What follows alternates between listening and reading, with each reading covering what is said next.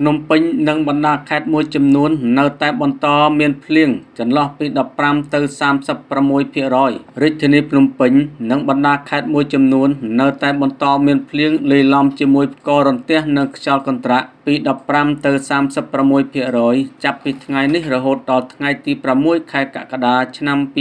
2024ដោយសារសម្ពាធទាបគ្របដណ្ដប់មកលើឈូងសមុទ្រថៃ និងកម្ពុជាភាគកណ្ដាលនៃអាងទន្លេមេគង្គនេះបើតាមសេចក្តីជូនដំណឹងរបស់ក្រសួងធនធានទឹកនិងអូតូនិយម នៅព្រឹកថ្ងៃទី4ខែកក្កដាក្រសួងបានអះអាងថាសម្ពាធទាបគ្របដណ្ដប់មកលើឈូងសមុទ្រថៃ ព្រះរាជាណាចក្រកម្ពុជាភាគកណ្ដាលនៃអាងទន្លេមេគង្គនិងសមុទ្រចិនខាងត្បូងស្ថានភាពបែបនេះនឹងធ្វើឲ្យតំបន់វាលទំនាបសីតុណ្ហភាពមធ្យមអបបរមា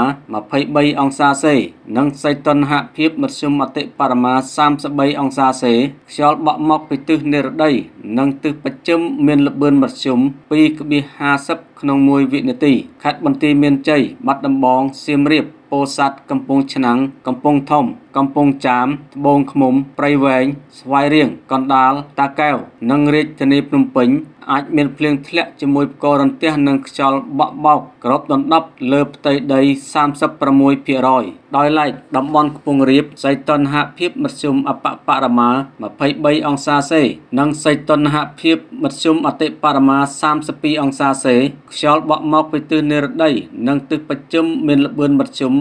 2.00ម៉ែត្រក្នុង1វិនាទី ខេត្តកំពង់ស្ពឺប៉ៃលិនឧត្តរមានជ័យព្រះវិហារស្ទឹងត្រែងក្រចេះរតនគិរីមណ្ឌលគិរីតំបន់ជួរភ្នំក្រវាញនិងជួរភ្នំដងរែកអាចមានភ្លៀងធ្លាក់ជាមួយផ្គររន្ទះនិងខ្យល់បក់បោកក្របដណ្ដប់លើផ្ទៃដី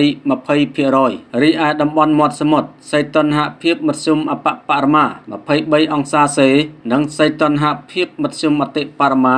31អង្សាសេខ្យល់បក់មកពីទិសនិរតីមានល្បឿនមធ្យម2.5ម៉ែត្រក្នុង1វិនាទី ខេត្តកោះកុងព្រះសីហនុកំពតកែបនិងជួរភ្នំបូកគោអាចមានភ្លៀងធ្លាក់ជាមួយផ្គររន្ទះនិងខ្យល់បក់បក់ក្របដណ្ដប់លើផ្ទៃដី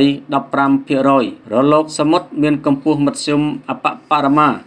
0.50ម៉ែត្រនិងកម្ពស់មធ្យមអតិបរមា1.50ម៉ែត្រ Fafa 007ជាជំរើសវេទិកាកំសាន្តដែលល្អបំផុតសម្រាប់លោកអ្នក Fafa